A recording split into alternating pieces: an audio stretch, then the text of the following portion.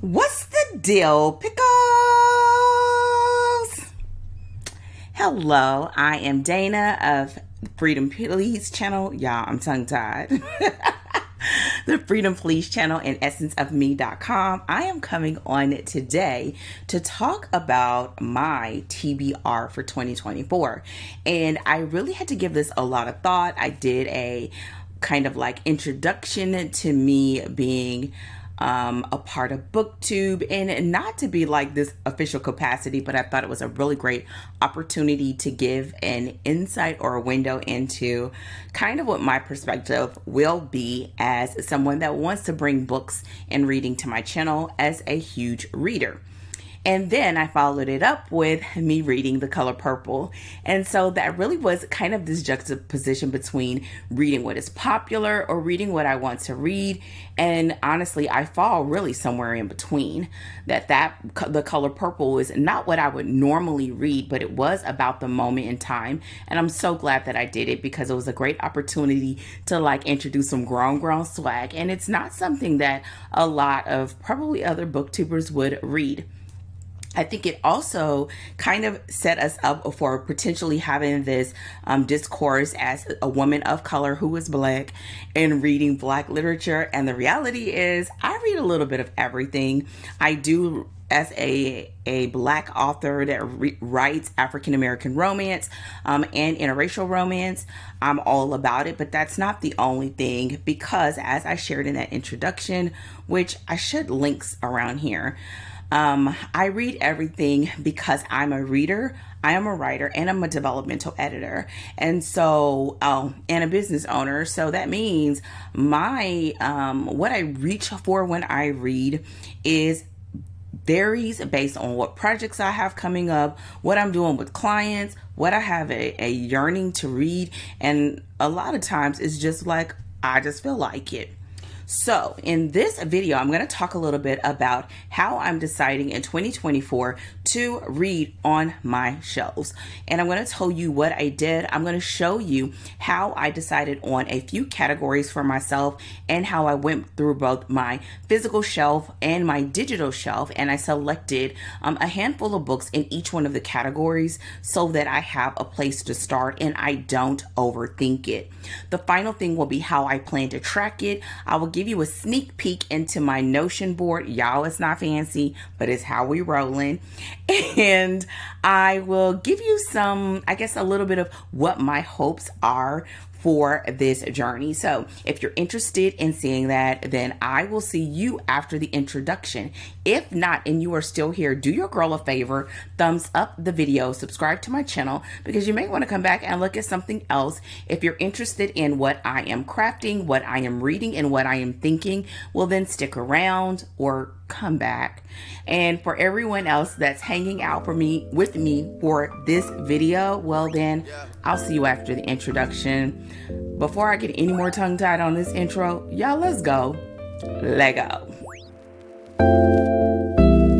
I've been down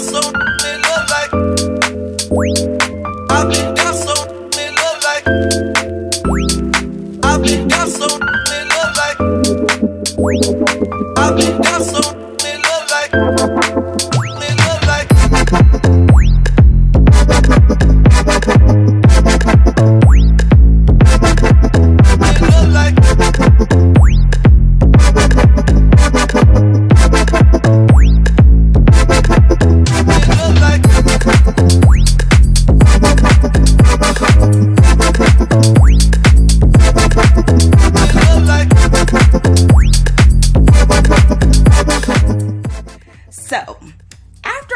Beatboxed through that introduction, y'all, and I'm not taking it out. Y'all know I'm just trying to be, cons- I am being consistent here and preparing. So let's rewind a little bit. As always, go ahead, grab your beverage, grab your craft, and we're going to get into what my thoughts are for my 2024 reading. Y'all, I have some very audacious goals in my business, and I knew that because of that, I needed to add some other things into my reading, as well as I have a lot of books that I've been wanting to read and I haven't read. And so when I started seeing all these challenges pop up, I was like, ooh, that would be pretty interesting to read something outside of your norm, especially if it is brought on based on a prompt. And at first, I saw a couple of them, and I thought, well, I could use the prompts and still shop my shelf, kind of like whenever you shop your stash. That's what I was thinking because that's what I'm doing in my yarn and my quilting life, right? But then I thought, you know, I have some really specific goals, and after sp- spending some time setting up my goals, setting up my first quarter, because I plan based on the 12 year, um, 12 week year. I wanted to really think about what I have planned for the year and to set myself up for success. I want to do, like I tell my clients all the time, which is stack the odds in your favor and dealing with what's going on between your ears as you uh, attempt and you go for what you want in your physical.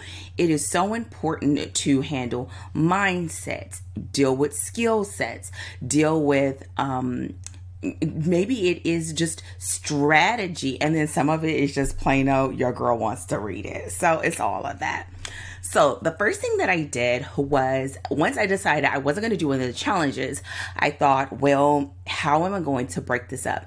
Because I have enough romance books that I could read a romance book every day and probably still not run out of books. So, that wasn't going to be the answer. But I do read romance for personal and I also read romance for clients. So, it's important for that to be a part of it.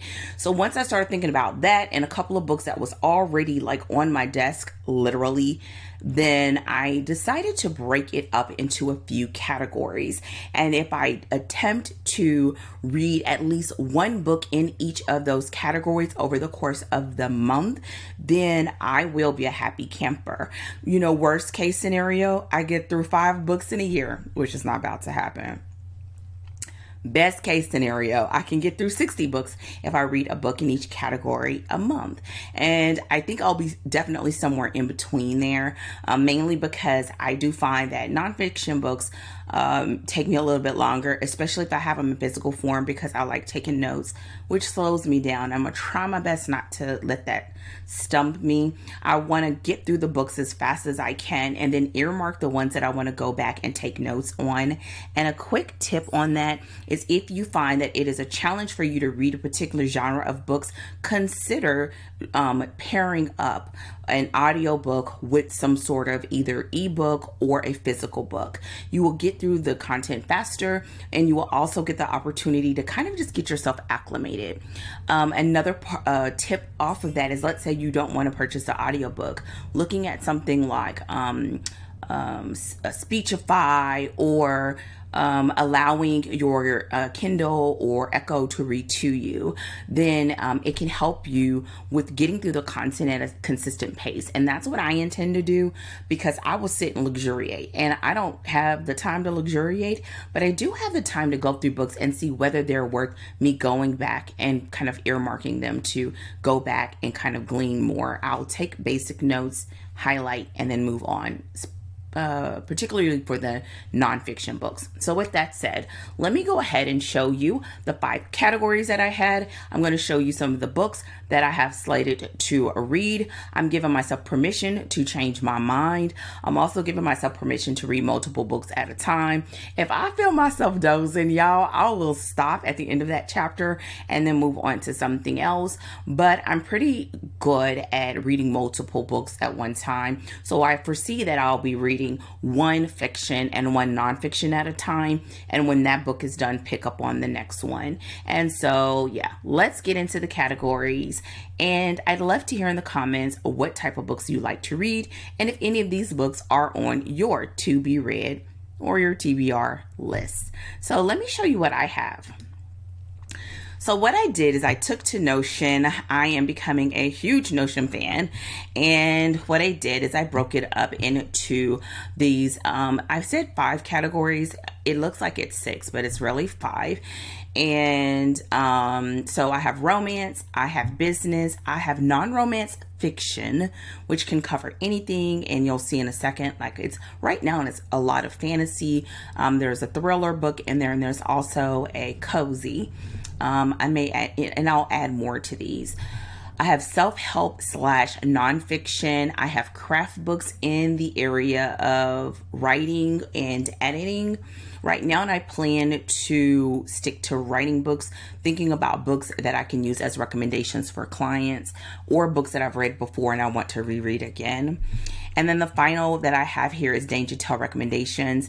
Um, I do have a list of recommendations that I give to my clients, and I like to reread them from time to time to see whether I still believe that that is a, um, a sound recommendation for my clients. I also like to um, get a better understanding and earmark who are the types of clients that can most use that recommendation or what genres I think that recommendation will be more suited for. So it makes it, um, it helps when I read them every few years. So right now I just have three, but I have many, many more I plan to add to it. So back at the top, romance, which is pretty like you it's a given. Um, I'm currently reading Dante, which I told you guys about. I'm literally at the end, and it is killing me to finish this book. So you will be hearing about me and my love hate relationship with dark romance. But I'm reading that because I'm working on a, a project with a client, and so I need to finish it. Okay.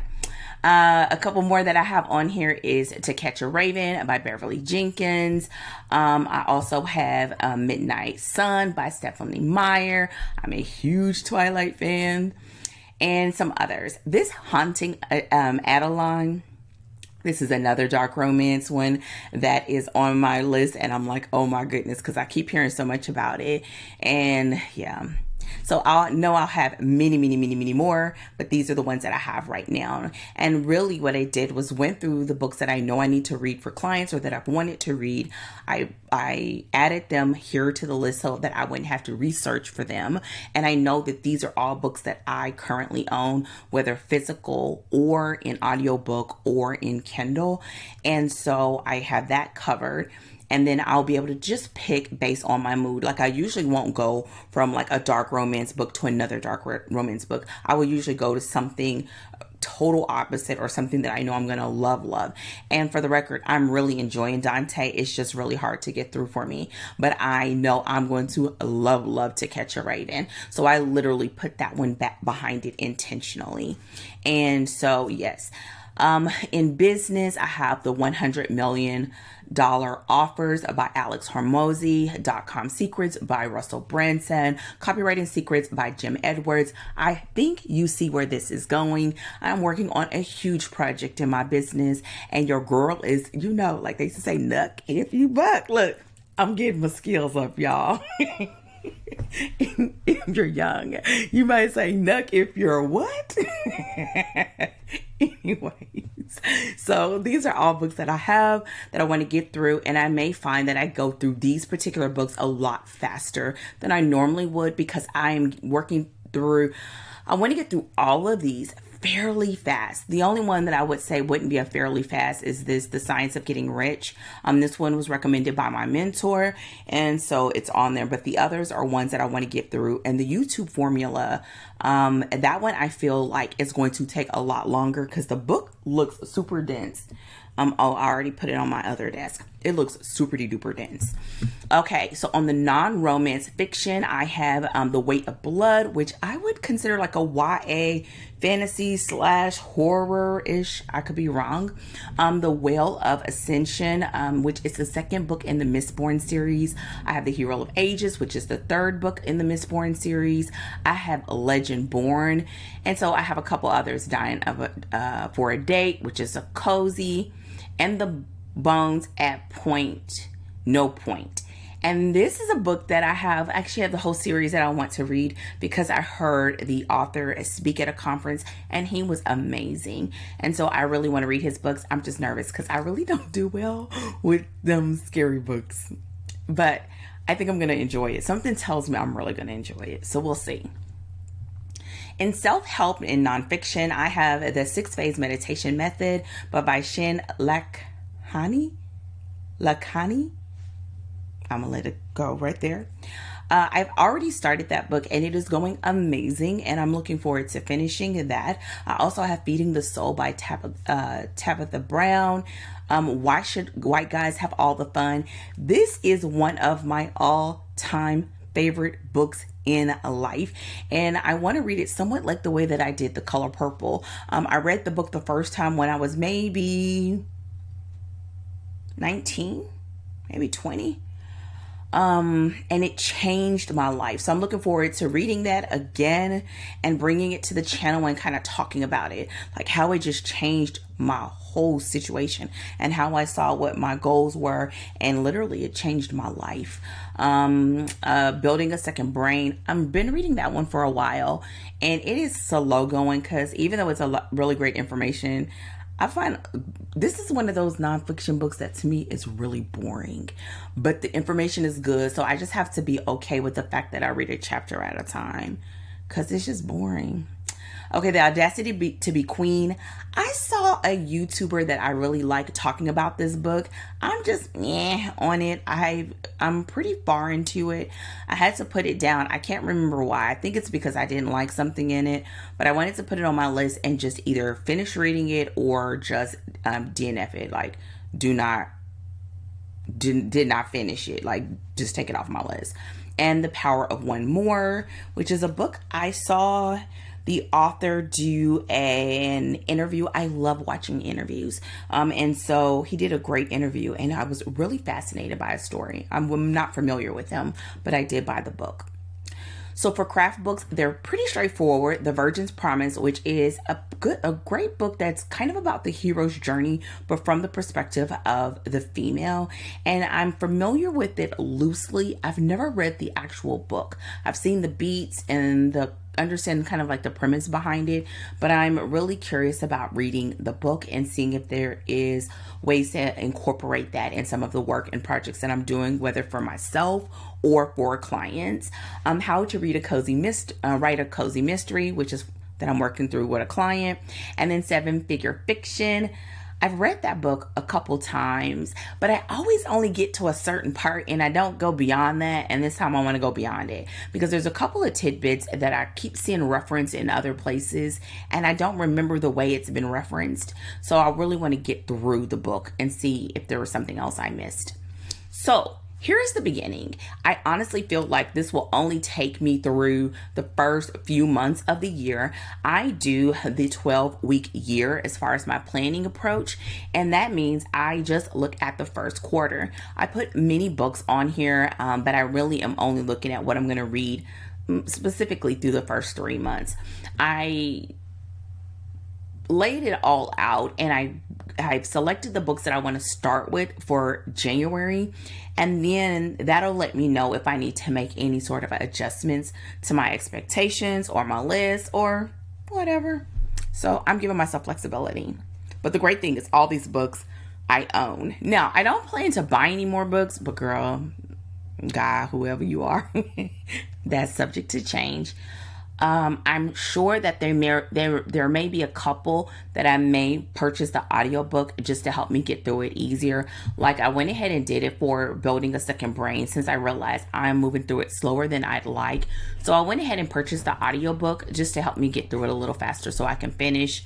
I have a feeling that when I go through these books, I'm going to wish I had finished that book um, so that I have a way to really start capturing these notes for different reasons. So this is my Notion board that I'm going to put the books in, and these are the five books that I'm starting with. Um, Dante, which I've told you about, um, 100 million dollar offers, A Weight of Blood. Um, the six phase meditation method and the Virgin's Promise. I'm also going to put, put in to catch a raven so you can see how I add this. This is a Notion template I purchased to catch. I can't even remember where I purchased it from. I'm not even gonna lie. I went through what I had and just really wanted a way to capture um, what I want to read. I want to put no, no, no, no. I want to put this as up next. Um, category. This is historical romance I'm so tired of it making all of these gray. Let's make it blue. There we go. Okay, the Minion, I have a physical copy. The link, I don't have the link. Let me just get it real quick. Um, to catch a raven. I'm looking at my other screen so I can put it on here. And this is always good so that I can have it whether it's for my um, notes or to share in my description bar or whatever. Or if I just need to go back because sometimes I like to see what other readers have said. The release of this book was on um, August 23rd of 2022.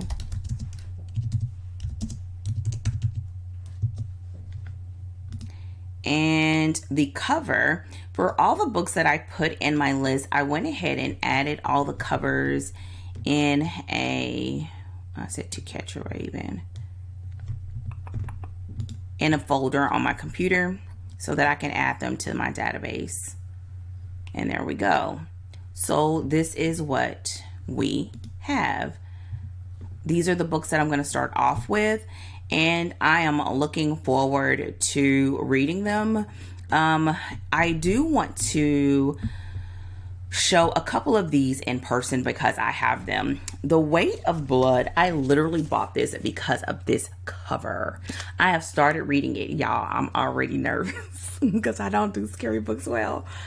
This book is already a trip, but I'm looking forward to finishing it. So I have this in physical I also have the $100 million offers by Alex Hormozi. This is one of the books that I got for Christmas from my husband. And the other books are all in my Kindle or in Audible, which is also on either um, on my iPad or my phone or whatever. I am super curious if you are an avid reader, how do you handle what you are going to read? Do you like to do a challenge? Do you go to your shelf? Do you just fly by the seat of your pants? I'd love to know. And if any of the books that I have up for the month of January are ones that you're curious about, do you have any questions about it or is there anything particular you would like for me to address in future videos? When it comes to reading each of these books, I'm just going to come back once I finish them all or when I get to a good place. I'd love to be able to say I will come back for those like to go over all I'm going to say 6 because I'm not going to fully count Dante because I'm almost done with it. So I should be starting to catch a raven probably if not tomorrow the following day. And so when I get all of them read and I can come back and give you an update to say whether this is going to work or not for me. Um, but I'd love to know what your thoughts are. So your girl is out. Um, at the time of recording this, it is December 31st. So if I don't see you until after the new year, have a very happy and safe new year. And I will see you all hopefully sooner than later. Your girl is out. Take care and goodbye.